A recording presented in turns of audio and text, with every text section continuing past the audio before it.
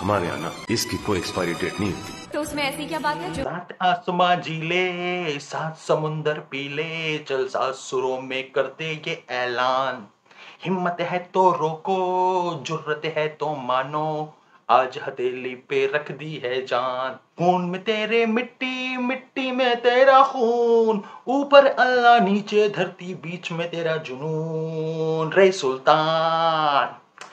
क्या मूवी थी यार? सुपर अमेजिंग कई बार मैंने देखी है, दिल अभी तक नहीं भरा। सलमान भाई ने क्या परफॉर्मेंस की थी?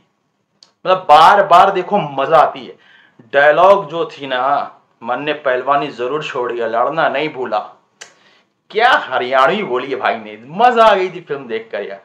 दोस्तों, आज हम बात करेंगे सुल्तान मूवी को जिसको सात साल कंप्लीट हो गए यह फ़िल्म 6 जुलाई 2016 को रिलीज़ हुई थी। इसको डायरेक्ट किया था अली अब्बास ज़फ़र ने। इसका बजट जो था, उस वक्त 90 करोड़ रुपए था। इस फ़िल्म ने 635 करोड़ रुपए कमाए थे यार। कमाल का बिज़नेस किया था फ़िल्म ने। इस फ़िल्म में सलमान खान के अपोजिट पहली बार नज़र आई थी अनुष्का शर्मा। वो भी एक पहलवान कैरेक्टर निभा रही थी। वो भी ज़बरदस्त आरफा का कैरेक्टर जो निभाया, कमाल का निभाया। अली अब्बास ज़फ़र की ये फ़िल्म आप शुरू से लेकर एंड तक देखोगे ना तो आपको मज़ा ही मज़ा आएगा। क्योंकि जितनी भी सीन रखी है ना फ़िल्म के अंदर, कोई बोर करती हुई नज़र नहीं आएगी। स्पेशल इस फ़िल्म में सलमान खान ने वो बेस्ट परफॉर्मेंस अपने कैरियर में कहूँगा दी है। तो वो एक फ़िल्म ये भी है, सुल्तान।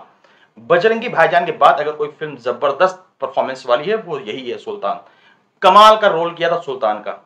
ये फ़िल्म शुरू से लेके एंड तक आपको होल्ड किए रहती है, बांधे रहती है। मतलब आप एक के बाद एक सीन देखोगे ना तो मज़ा आएगी। आप इसको एक बार थिएटर में नहीं, पाँच बार, छह बार देखो तो भी मज़ा आती है। इतनी ज़बरदस्त फ़िल्म बनाई थी सुल्तान। जैसा कि आपको पता इस फ़िल्म को प्रोड्यूस जो किया था, आदित्य चोपड़ा ने किया था। और आदित्य चोपड़ा ने इसके बाद अली अब्बास ज़फ़र को एक ज़बरदस्त फ़िल्म अपनी दी थी, जिसका नाम था टाइगर ज़िंदा है। क्योंकि टाइगर एक था टाइगर जो कबीर खान ने बनाई थी, लेकिन इसकी सफलता को देखते हुए कबीर खान को हटाकर अली अब्बास ज़फ़र को बागडोर दे दी कि टाइगर ज़िंदा आप ही बनाएँगे। तो 2016 में सुल्तान आई थी 2017 में टाइगर ज़िंदा आई थी, जिस तीनों लोग, आदित्य चोपड़ा, सलमान खान एंड अली अब्बास ज़फ़र की तिगड़ी फिर से दिखाई दी उस फ़िल्म में। और टाइगर ज़िंदा भी एक कमाल की फ़िल्म थी, वो तो आपको पता ही होगा।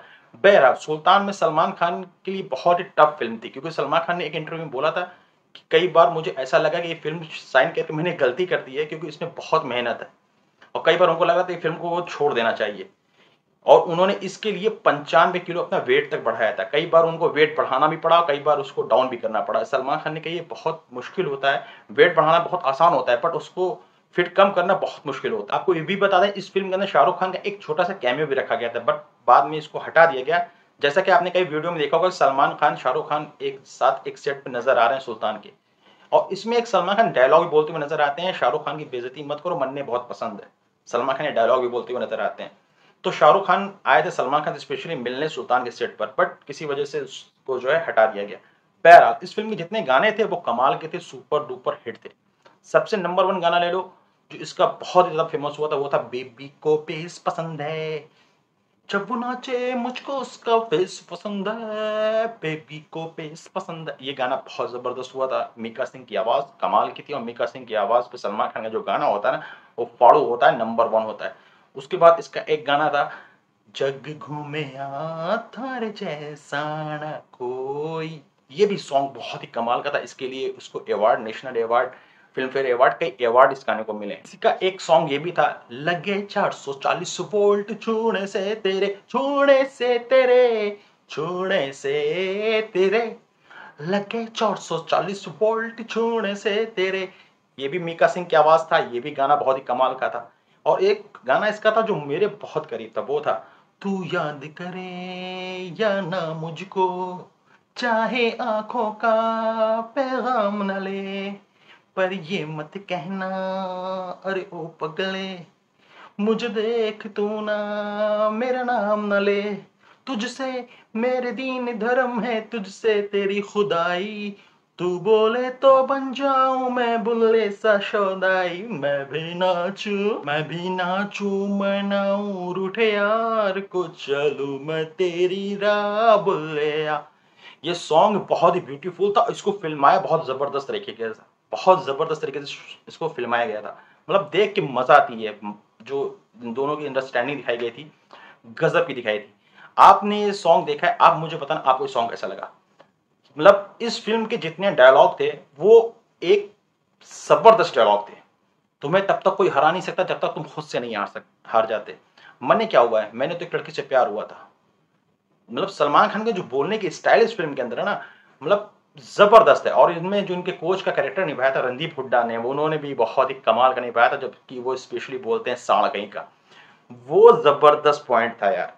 और जब वो सलमान खान का जो टाइटल सॉन्ग बजता है, उसकी बात ही अलग है जब सलमान खान टाइटल सॉन्ग पे अपनी एक्सरसाइज करते हुए नज़र आते हैं, कमाल की थी यार। जैसे कि पता है फ़िल्म एक स्टार्ट होती है कि सलमान खान एक डिश टीवी लगाते रहते हैं, फिर उसके बाद वहाँ से उनका बिज़नेस चलता है, फिर लेकिन वो मस्ती करते हैं, लेकिन रेवाड़ी में अगर कोई भी पतंग कट जाती है तो उसको सलमान खान के सिवा कोई नहीं लूट सकता है। ये स्टार्टिंग में ऐसे दिखाया जाता है। बट जब उनकी उसी पतंग लूटने के चक्कर में उनकी पहली मुलाकात अनुष्का शर्मा से होती है तो सलमान खान उनको दिल दे बैठते हैं। और उनके पीछे पीछे पड़ जाते हैं। तब उनको पता चलता है कि ये जो एक पहलवान है। तो सलमान खान कहते हैं, जैसे डॉक्टर की शादी डॉक्टर से हुए, उसकी शादी, उसकी तो इसकी शादी मुझसे हो गए मैं भी पहलवान बनूँगा। तो सलमान खान उस दिन से ठान लेते हैं कि मैं पहलवान बनूँगा। तो सलमान खान सीखने के लिए इनके फादर, यानी कुमुद मिश्रा का भी एक ज़बरदस्त रोल है। उनके यहाँ आते हैं, जो अनुष्का शर्मा अनुष्का शर्मा के फादर का रोल अदा करते हैं। वहाँ पे सलमान खान जब आते हैं पहली बार तो वहाँ पे जब चित हो जाते हैं तो कहते, तुम पहलवानी लड़ोगे। कह, आया था आज माटी की कीमत जाने के लिए। गोल्ड मेडल तो सुल्तान ही लावेगा। ये बोल के सलमान खान जब जाते हैं, वो गजब की सीन है, ज़बरदस्त सीन है। ट्विस्ट तब आता है जब अनुष्का शर्मा सलमान खान को एक पड़ाका मार देती है और कहती है, तुम जोकर ऐसे हो, तुम ऐसे हो, तुम वैसे हो। वो बात सलमान खान के दिल पे ले जाती है। फिर सलमान खान ने ठान लेते हैं कि हम पहलवान बन के दिखाएँगे। और फिर वो बहुत मेहनत करते हैं, फिर वो इंडिया की तरफ़ से खेलने जाते हैं, वहाँ मेडल जीतते हैं सब उनका बहुत नाम होता है। उसके बाद जो है, अनुष्का शर्मा उनको प्रपोज करती हैं और सलमान खान की शादी हो जाती है। शादी होने के बाद सलमान खान के अंदर ऐसा गुरूर हो जाता है कि सुल्तान को सिर्फ़ एक ही आदमी हरा सके, वो खुद सुल्तान मतलब गुरूर हो जाता है सलमान खान के ऊपर। और इतना ज़्यादा हो जाता है कि उनका जब बेटा पैदा होता है तो उनके पास टाइम नहीं रहता है, लेकिन उनका बेटा जो होता है, खून ब्लड की वजह से उसकी डेथ हो जाती है। जब सलमान खान जब तक पहुँचते हैं तो उसकी डेथ हो जाती है, क्योंकि सलमान खान एक बात डायलॉग बोलते हुए नज़र आते हैं, मेरा खून जो है बहुत रेयर के वो जल्दी मिलता नहीं है। तो यही बात अनुष्का शर्मा को बुरी लगती है। अगर काश तुम यहाँ मौजूद होते तो शायद हमारा बेटा ज़िंदा होता। इसी में उन लोगों में दूरियाँ आ जाती हैं। फिर सलमान खान ब्लड के लिए पैसा जुटाते हैं कि एक ब्लड बैंक यहाँ पे खोलेंगे अपने एरिया में। लेकिन वो धीरे धीरे पैसा उतना हो नहीं पाता। फिर सलमान खान ठान लेते हैं कि फिर से वो पहलवानी करेंगे, फिर से वो, लेकिन जो वो दोबारा जाते हैं पहलवानी, वहाँ पहलवानी कम होती है, वहाँ पे फाइटिंग होती है। आदमी किसी भी तरीके से मार सकता है। लेकिन वहाँ पे सलमान खान को जो कोच बने होते हैं, रणदीप हुड्डा, उनकी हेल्प करते हैं, उनको सब कुछ बताते हैं। बहरहाल सलमान खान फिर फाइट करते हैं और लगातार कंटिन्यू फाइट जीतते चले जाते हैं। लेकिन फाइट में एक चीज़ ये है कि जिस जिस तरीके से फाइट आती है ना एक्साइटमेंट हाई लेवल पहुँच जाता है और देखने में बहुत मज़ा आती है। हर एक फाइट ज़बरदस्त होती है। और सलमान खान की परफॉर्मेंस इसमें ज़बरदस्त थी। सलमान खान को इसमें दो तीन जहाँ अवार्ड भी बेस्ट एक्टर को मिला, अनुष्का शर्मा को मिला बेस्ट फ़िल्म के लिए सुल्तान को अवार्ड मिल चुका है। अब ये इस फ़िल्म को देखने के बाद सलमान खान के फैंस तो यही कहते हैं कि भाई जल्दी से जल्द सुल्तान टू भी आनी चाहिए, क्योंकि ये फ़िल्म एक कामयाब फ़िल्म है और बहुत बेहतरीन फ़िल्म है, जैसे कि आप ये नहीं कह सकते हाँ ठीक ठाक है या सलमान खान के स्टार्डम पे चल गई नहीं सलमान के स्टार्डम के साथ साथ इस फ़िल्म की कहानी बहुत ही ज़बरदस्त थी। माइंड ब्लोइंग थी और इसको लोग डिमांड है कि सलमान खान फिर से सुल्तान टू जो है, इसके आगे की कहानी काम करें। बहरहाल, आपको क्या लगता है सुल्तान टू फिर से बननी चाहिए कि नहीं बननी चाहिए? और सुल्तान फ़िल्म आपने देखी, आपको कैसी लगी? आपको सीन कौन सी सीन सबसे बेस्ट लगी है? और बाकी वीडियो अच्छी लगी तो वीडियो को लाइक कर दिया चैनल सब्सक्राइब कर दिया मिलते हैं आपसे नेक्स्ट वीडियो में, अपना ख्याल रखिएगा। Okay, tata, bye see you again रे सुल्तान लाइक कर दियो।